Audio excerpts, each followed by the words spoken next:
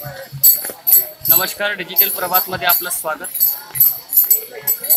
जोरदार पावसाने आज फलटण तालुक्यामध्ये हजेरी लावलेली आहे.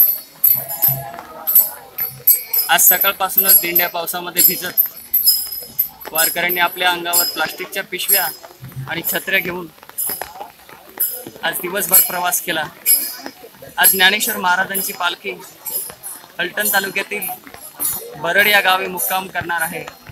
त्यासाठी राज्यभरातून आलेले वारकरी आपल्या दिंड्या घेऊन बरड या गावी आज पोचलेले आहेत.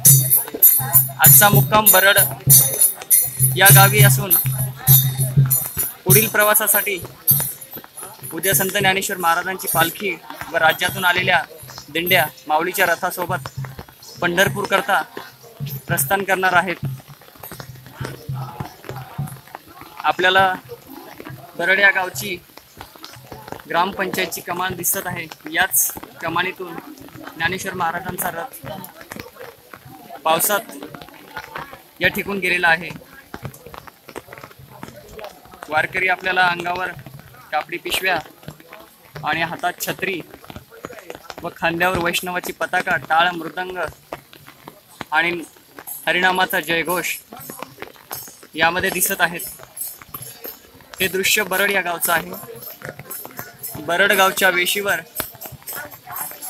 सध्या मी उभा आहे आणि याच वेशीवरून ज्ञानोबांच्या पालखीचं बरड या गावात आगमन झालं. मोठ्या उत्साहामध्ये ज्ञानेश्वर महाराजांच्या पालखीचं या ठिकाणी स्वागत केलं. आपल्याला या ठिकाणी मोठा पाऊस दिसत आहे. वारकरी आपल्या अंगावर पिशव्या घेऊन कापडी पिशव्या घेऊन उभे आहेत. साठ सत्तर वर्षाचे वृद्ध आपल्या स्वतःचं सामान पिशव्या तुळशी वृंदावन झेंडा घेऊन प्रवास करत आहेत. हे दृश्य आपण डिजिटल प्रवासच्या मार्फत बघत आहात.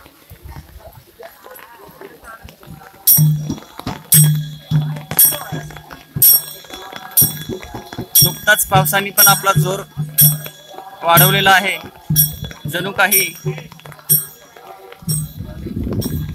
मोठ्या वर्षावाने पावसाच्या ज्ञानेश्वर महाराजांच्या पालखीचे या ठिकाणी स्वागतच झालंय असं या ठिकाणी चित्र दिसत आहे.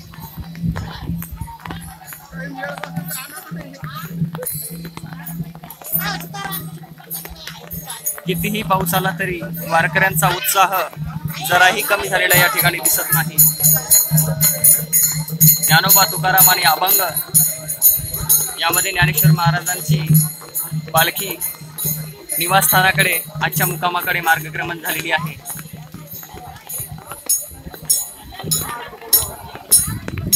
पालखीचा हा असा सोहळा मी तुमच्यापर्यंत पोचत राहणार आहे.